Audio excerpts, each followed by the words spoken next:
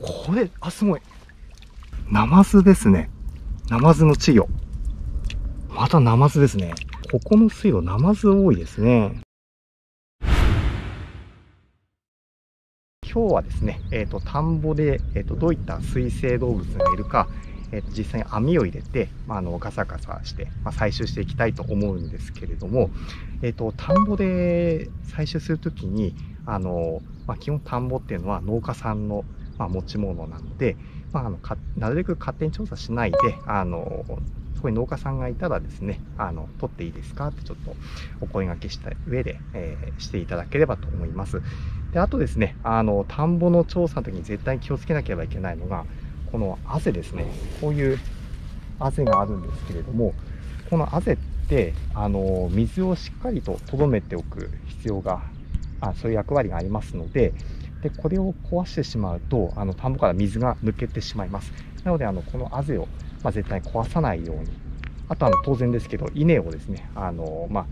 踏んづけたりとか、まあ、そういったことはないように、まあ、調査していく必要があるので、まあ、ちょっと田んぼで採集するときはそういった注意が必要になります。じゃあ、早速ですね、あの、取っていきたいと思うんですけれども、えっ、と、ぱっと見ですね、ちょっと生き物がかなかあの見つけづらいかもしれないんですけれども、ちょっとまず軽く網を入れてみたいと思います。泥が入ってしまうとなかなかあの何が入ってるか分かりづらいので多少ちょっと洗ってですね。いるかな？あこれはちょっと殻ですね。姫谷氏の殻。えー、っと何もあおいますね。これは土壌の稚魚ですねですね田んぼっていうのは、あの、魚があんまりいないんですけれども、この土壌に関してはですね、え、っと、あの、多少湿っていれば空気中でもある程度、あの、まあ、呼吸をすることができるので、まあ、こういったあの、水がなくなる環境でもうまく適応して、まあ、生息することができます。で、小さいですので、この田んぼでですね、土壌が繁殖するんですけど、まあ、おそらく田んぼで生まれた、まあ、土壌かなと思います。で、取るときに、多分このこういった植物とかがですね、浮いているところに何か潜んでると思うので、撮ってみたいと思います。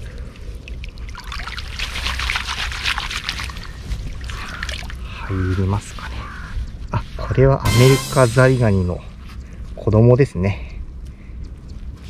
小さいとあの、ちょっとエビみたいに見えるんですけれども、やっぱりあの、ま外来種なんですけれども、田んぼの中で繁殖してしまっているのかなと思います。えっと、ザリガニってですね、あの、先ほどちょっとご説明したあぜにですね、穴を開けてしまって、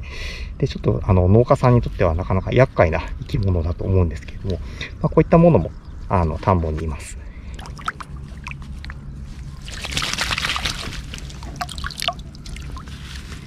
これはザリガニですね。アメリカザリガニ。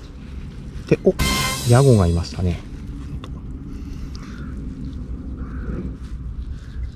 これですね、赤トンボのヤゴですね。えっ、と、おそらく、アキアカネかなとは思うんですけれども、あの、赤トンボの幼虫、例えば夏アカネとか、のしめトンボとかいろいろいるんですけど、あの、幼虫の段階で、あの、種の特定って実は結構難しくてですね、これまだあの、若いというか、あの小さい幼虫なので、ちょっとはっきりしないんですけれども、まあ、この辺、アキアカネが一番多いので、おそらく、まあ、そうなのかなと思います。で、この赤トンボの仲間っていうのは、トンボの中でですね、あの、田んぼに最も適応したあのグループなんですけれども、えっと、特にアキアカネの場合、秋に、あの、田んぼにできた水たまりに親が産卵して、で、その土がですね、土の中に、あの、卵を産んで、で、その、えっと、翌年までですね、土の中であの卵が休眠して、で、水が入って孵化すると。まあ、そういったあの生活史を送ります。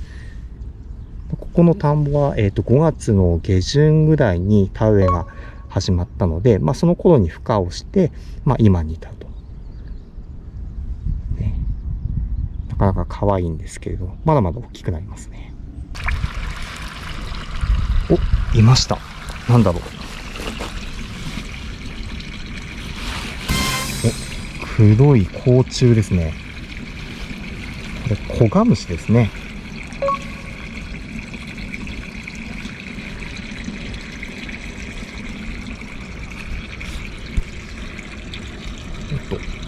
埼玉県の水田では割と通に見られる甲虫なんですけれども、まあ、あの、パッと見コガネムシかなんかに 似てるんですけど、これもれっきとした水生昆虫です。子供の時は肉食性なんですけど、成虫になるとですね、植物食寄りの雑食になります。あと、これですね、ヒメタニシ。あの、関東の田んぼって、あの、タニシが結構多いんですけど、まあ、大体はこのヒメタニシといって、あの、丸タニシに比べればちょっとこう、三角形というか、とんがってる形をしているタニシです。えっと、まあ、埼玉含む関東で、まあ、大体いる、あの、タニシというのはこの姫タニシになります。ここに蓋があるんですけど、この蓋を閉じるとですね、ある程度乾燥に耐えることができるので、あの、水が途中でなくなってしまう、えー、この田んぼででもですね、えー、姫タニシは生きることができます。お、聞こえますこれ、カエルが鳴いてるんですけど、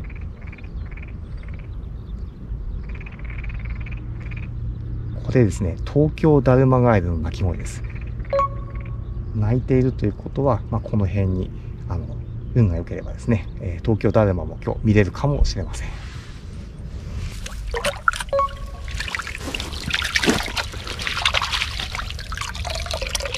なんかいっぱい入りましたね。なんだろう。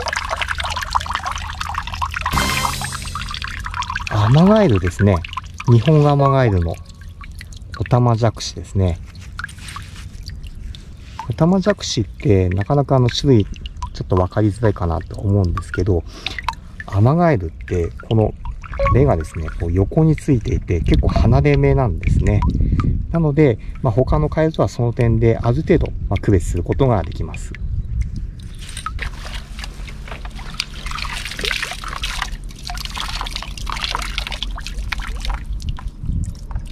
うん。あ、なんだろう。あ、これ、あ、すごい。ナマズですね。ナマズの稚魚。おー、すごい。まだちっちゃいですね。お、これはすごいもん取っちゃった。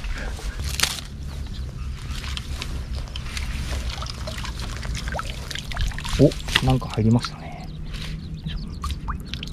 お、またナマズですね。ここの水路、ナマズ多いですね。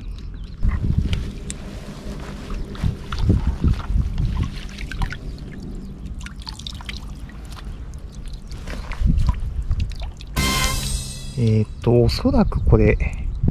船の稚魚だと思います。だいぶ小さいですね。1センチぐらい。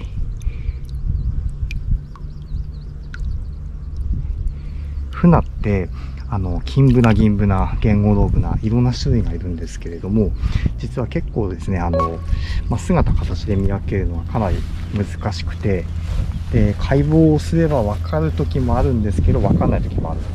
なので、遺伝子を調べないとはっきりしたことは言えないと、実は身近で最もあの分類が難しい魚の一つだと言われていて、まあ、今のも銀ブナとかその辺かなとは思うんですけどちょっと種類の特定はなかなか難しいですね。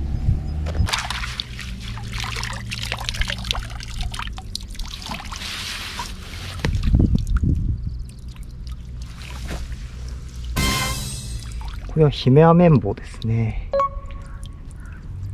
普通のアメンボより小さくて、よく田んぼなんかでも見られるんですけど、ちょっとした水たまりにすぐにあの飛来するアメンボですね。